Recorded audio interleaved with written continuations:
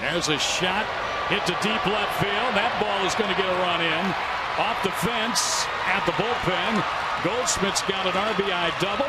The Diamondbacks had a run to make it three to one. And that's exactly why you got to pitch. Be careful with Goldie because he's a very selective hitter. He got a 2 and 0 count and he looked for something that he wanted to drive. He got it and he didn't miss it.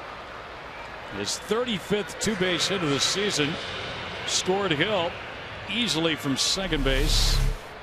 Well, here you see the pitch down and up out over the outer half of the plate and Goldie strong enough to hit that ball off the left center field wall.